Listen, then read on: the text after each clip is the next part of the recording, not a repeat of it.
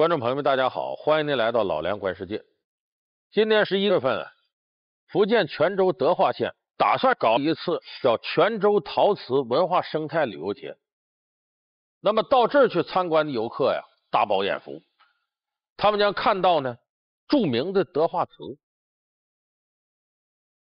有人说这个好像全国各地都能看着吧？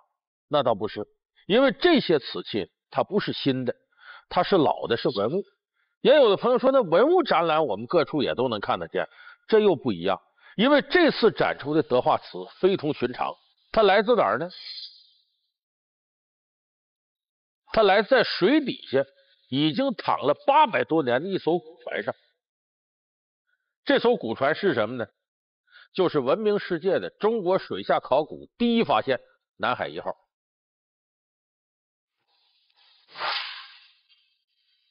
沉睡海底八百年，德化窑精品将亮相。从发现到发掘，相距二十年。南宋商船究竟装载多少宝藏？有种说法叫“一船十”，一艘沉船等于十个。它因何沉没？为何八百年不腐？老梁观世界，与您一同发掘沉睡了的文明，为您揭开海上敦煌南海一号的真相。这个南海一号啊，是中国南宋时期的一艘木质的沉船，就一艘木船。它是呢远洋贸易货船，是从中国的港口呢出发，可能是要驶向阿拉伯地区啊、非洲地区。结果在呢广东阳江市有一个穿山群岛这附近的海面沉了。这是南宋的木质古沉船。这艘沉船上面呢有大量的中国古代的瓷器。有很多呢，是福建泉州这块的，像德化窑啊、磁灶窑啊这些著名窑口出的瓷器。这艘沉船呢，长大概是三十米，宽十米，这是现在世界沉船史上保存的最完整的、船体最大的上船。所以，这个南海一号的发掘呢，意味着中国水下考古进入到了一个全新的领域。我们可能有的朋友还记得，在两千零七年十二月二十二号那天，中央电视台还直播了关于这个南海一号从水下整体给它捞上来，专门搞了一个出水仪式。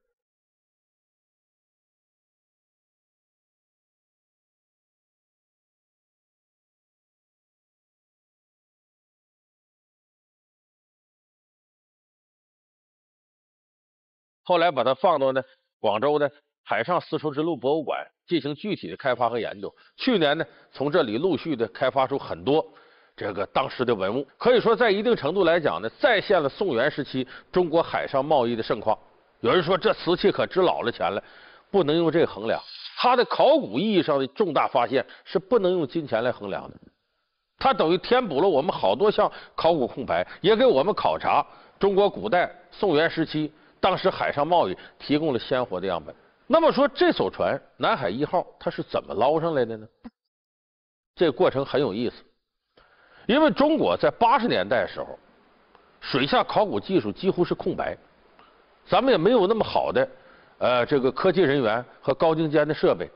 可是那个时候，在世界范围不断传来一些消息，刺激着我们的神经。那么什么是刺激了中国人的神经呢？就是打捞沉船。有种说法叫一船十木，就一艘沉船呢。等于十艘十个古墓，所以就是在沉船里边，往往能挖掘出大量的文物，也意味着一些重大的考古发现。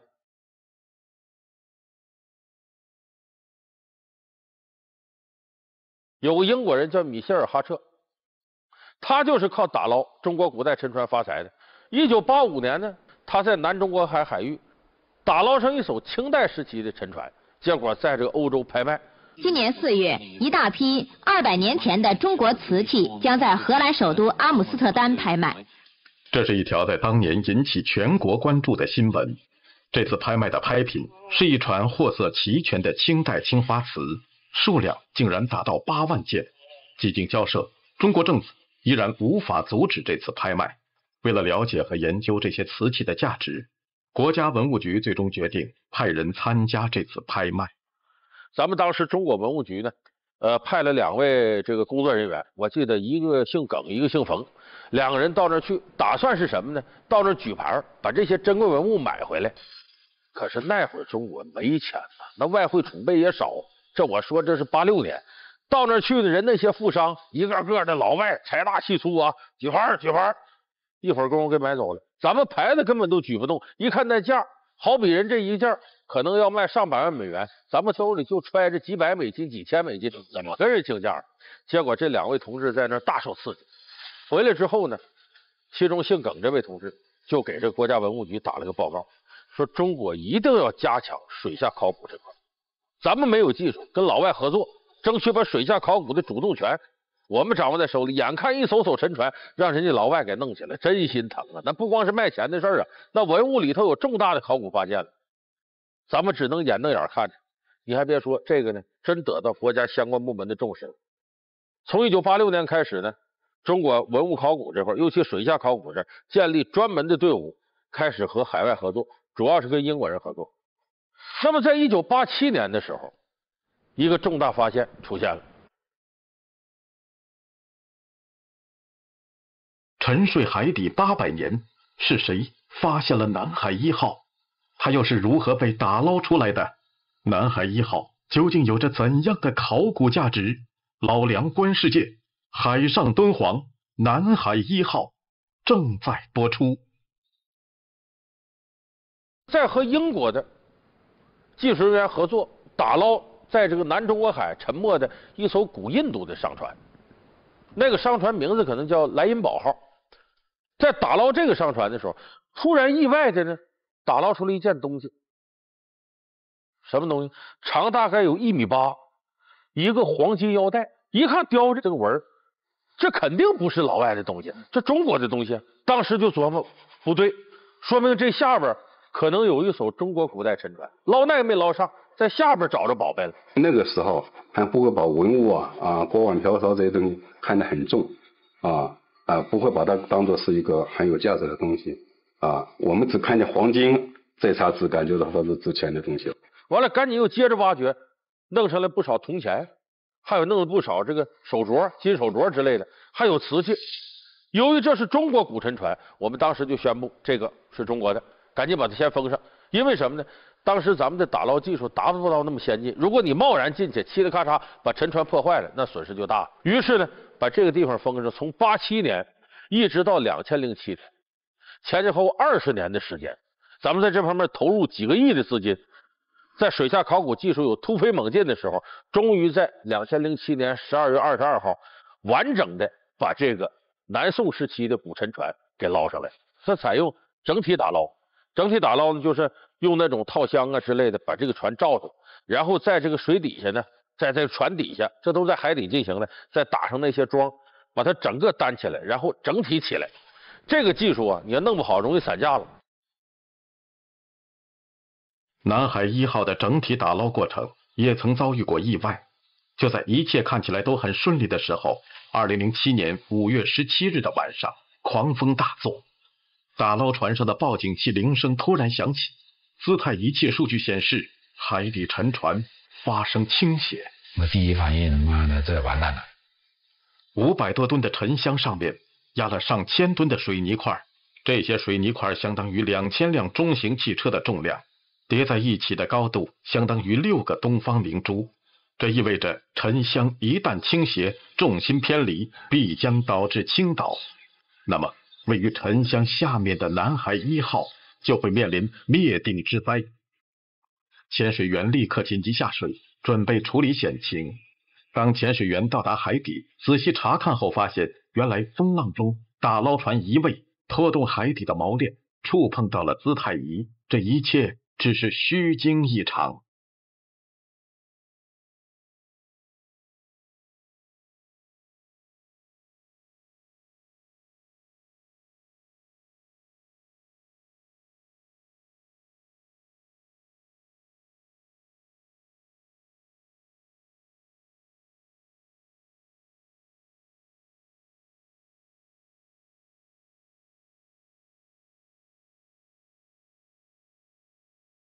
最终，二零零七年十二月二十八日，南海一号离开了它沉睡了八百四十年的海底，被安放于广东海上丝绸之路博物馆。费这么大劲，这船上到底有多少好东西呢？哎呦，那可海了去了。咱们说大量的呢是南宋时期的瓷器，因为我们知道南宋瓷器五个名窑嘛，汝歌、关钧、定五大名窑，这类呢是少部分，大多数呢是从福建泉州那会儿的德化窑、瓷造窑这几种，但是做的非常非常精美。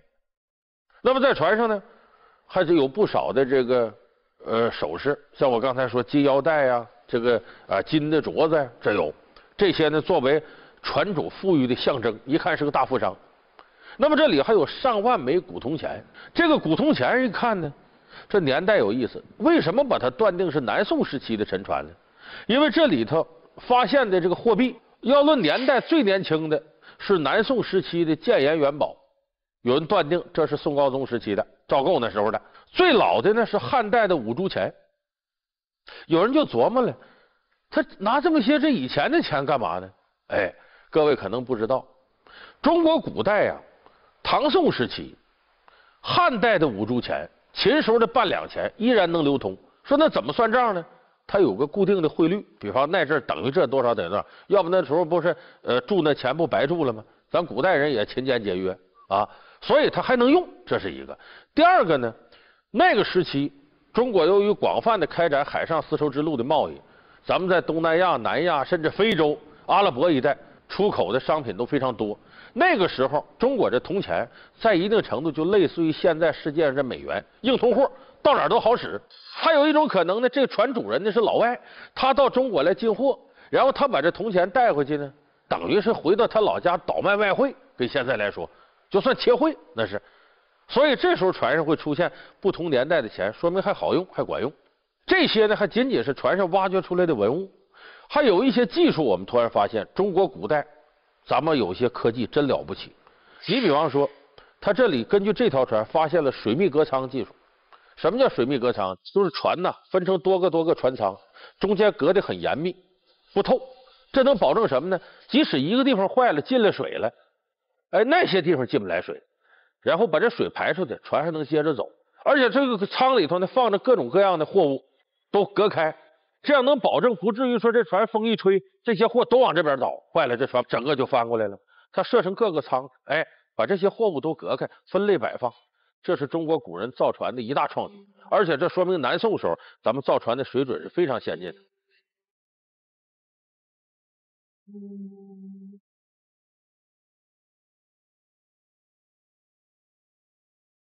所以这个船上面，它意味着的奥秘非常多，不光有考古发现，也有重大的文物价值，也有其他方方面面能看出中国南宋时期文化的一些蛛丝马迹。那么当然，那个时候的船沉了，给我们留下了很多谜团。南海一号因何沉没？到底有无生还者？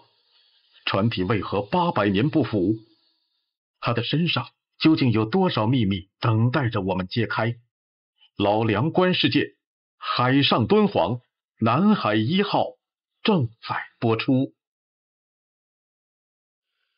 首先呢，咱们说有一个谜是呢，这个船是怎么沉的？有人说那能怎么沉？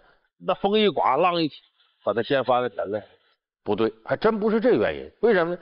如果这个船要是翻了，它要沉下来的话。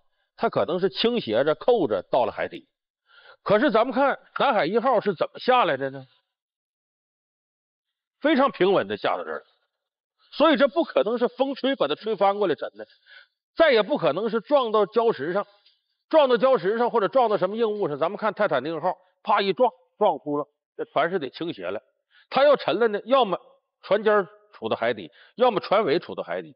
这个这么平下来的，有人解释什么原因？超载，说这个商人可能挺贪，放各种各样的东西，这瓷器也多，而且上面还有重物，就一点点把这船超载给压沉了。船沉了，平稳的沉了，超载它会是这样，就跟海底几乎是一平的。所以有人说这个沉没是这么沉。第二个呢，这个船是从哪儿出发到哪儿去的？有人说也可能是老外的船，不见得是你这个南宋时期中国人造的。可是根据它平稳下沉的船头的方向，基本是对着阿拉伯地区和这个南亚一带开的，所以可以断定这艘船呢是从中国开出去的。到底从哪儿开出来的？人说这不是在广东阳江市南中国海的海面吗？说就广州呗，那倒不见得，因为这个咱得说到海上丝绸之路。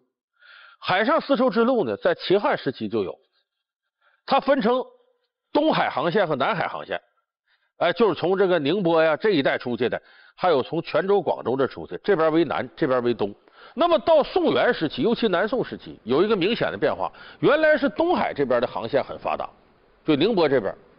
等到了宋元时期呢，变成了泉州、广州这发达，所以那时候所有船基本上都是一出发就往南走，因为到的是南亚、非洲、阿拉伯地区。根据这个船整个的方向来看。它的起点极有可能是中国的泉州。再一个，上边呢，这些所搭载的一切产品几乎都没有广州当地的痕迹。你看这里头有浙江的瓷器，有这个福建的瓷器，所以基本上可以确定这是从泉州出海，要奔这个呃东南亚、南亚、阿拉伯地区做生意的。第三个谜团是，这船上的主人是个什么人？你看这个船上这个金镯子啊，这个金腰带挺多，肯定是个有钱的主，这毫无疑问的。但是这个人是哪儿的人？有人看了一米八的金腰带，四两重的金镯子，这得什么人戴呢？要又瘦又小的人都戴不了这个东西。所以断定这船主啊高大健壮，是个大胖子。所以有人推测，这有可能啊是胡商，就说阿拉伯那的、斯里兰卡的、伊朗这。倒有这可能，那边人体型可能比咱们可能显得胖点。说当时他们广州的时候就有大量的老外的商人在这住，然后上了货再回去，过一年再回来。海上有时候一年跑两三趟，有人就推测这有可能是个老外到这上了货，买的中国的船往回开。这是有猜船主到底是谁。再一个，这个船上它既然是沉船，有没有生还者？因为就现在的考古发掘看，没发现这个船上有人，没有遗骨。有人就琢磨，这三十米长、十米宽这么个船呢，在海上往下沉呢。它木头船不像是那钢铁船，钢铁船沉得快，木头船沉得慢，它会有充分的时间逃生。有可能这船沉没之前呢，船上的人该跑就都跑了，这是一种说法。可是有的人呢，他也不认可这个。那你看啊，这个船顶上这个货主要是瓷器。但是也有一些金器，数量非常少，还有一些什么胭脂啊，有可能这船上还带着女人呢。说这些东西呢，你想想，有的很轻便，就咱说这金镯子四两你带着啊。说如果这个沉船他要跑的话，也没有必要把这些东西都扔下，那一个金腰带带身上就跑呗。他有充足的时间把它带走，挺珍贵的东西，他不至于把这些东西都扔到船上。所以有人判断，有可能这船主啊。舍命不舍财，别人可能噼里啪啦跳海都跑了啊！我要跟我这船共存亡，我舍不得呀，我死也得死这。有可能这个船的主人跟这个船一起埋葬，但是他的遗骨在哪儿呢？因为这个船现在还没有彻底挖掘，里边得一步步来，不敢乱动，所以暂时还没有发现人的骨头。所以说这上面有没有生还者，到底死的是什么人，还得接下来通过我们的考古挖掘。还有第五个谜团是什么呢？八百年了。这个船在水底下八百多年了，人一般的木头不早烂了吗？这个船怎么能保存的完好到这种程度？因为它的木板是松木的，马尾松多，有说法叫千年水泡松，呃，万年风吹山嘛，都是经得起风吹日晒雨淋的，这是个原因。但这不是主要原因，最主要原因呢，你得感谢水底下这些泥沙，这个沙子呀。把它一层层剥开，发现都有十好几层，越往里沙子粒越细，越细密度越大，意味着什么？和外边的空气隔绝。因为船本身就怕氧化，你一氧化就完了，它就腐烂的快了。这个沙子正好把这船包裹起来，造成了一个缺氧的环境。有好多船呢，都不是因为氧化腐烂的，而是这些周围海虫啊、珊瑚什么的把它给吃没的。在沙子里头也发现那些小生物了，全是死的。就是在这环境下，生物活不了，客观上保护船体不被生物给吃掉，所以这是为什么这个船能保持八百年。那么当然，这些谜团随着考古一点点的进步，都会逐渐解开。在这个过程当中，有人就慨叹说：“这个呀，这么一艘船上都能有这么多的秘密，都能有这么多的收获。”有人就估算，南中国海海域里，中国古代沉船的数量非常多，得有上万条沉船。而我们看到的南海一号呢，只是这个其中啊，应该说普通的一个。它从规模。和这个形体来看，也就是个中等级别的商船。要再找着大个的，那要挖掘出来，这里得有多少秘密，得有多大的收获呢？水下遗产对于我们有着悠久历史和灿烂文化的古国来说，它资源极其丰富，特别是我们过去关注的九百六十万平方公里的领土。实际上，三百万平方公里的海疆有着大量的历代的水下文化遗存。那么，其实呢，这个这个也是世界研究海洋的人对这个事儿耿耿于怀的事情。因为海洋占地球啊百分之七十一的面积，这么多年来从古到今的航海，初步估算说世界大海底下最少都有上百万艘沉船。你说大海不就是个宝藏吗？海底。它会静悄悄地保留很多中国文明的一些遗迹，乃至世界文明的遗迹。所以说呀，这个对水下考古这一块，中国人现在是已经逐渐把它重视起来了。我相信，随着呢咱们水下考古科技的进步，这些水底下秘密有朝一日重见天日的时候，可能它带给我们的惊喜都会大于我们陆地上对墓地的这态度。当然，在这个过程当中，我们也看到中国古代文明啊了不起。它对这个世界的影响是真大。你比方说，南宋时候这一艘商船出去，上面有大量的瓷器。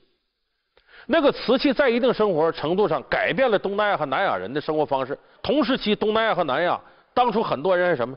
割树叶包饭吃的。你看这艘商船上，你就看出有陶器，专门有罐子装咸菜的，有淘米用的。等吃饭的时候呢，瓷碗瓷碟。当初这些东西出口到国外，那老外哪见过这个，羡慕不得了。哎，这东西怎么做的这么精致啊？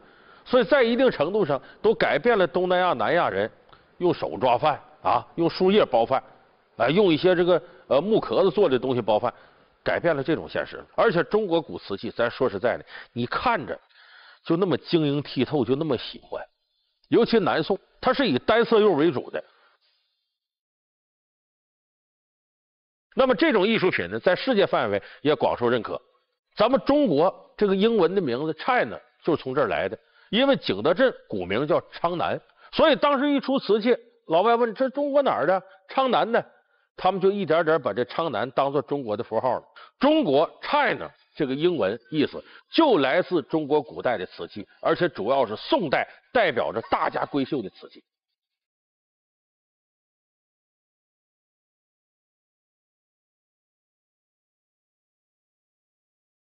正在为您播放的是《老梁观世界》。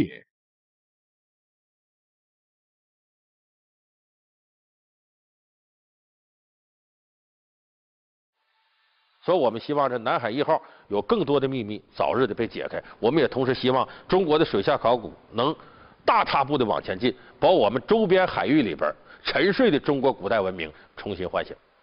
好，感谢您收看这期《老梁观世界》。您有什么看法和想法，可以通过屏幕下方我们新浪官方微博地址和我们联系。我们下期节目再见。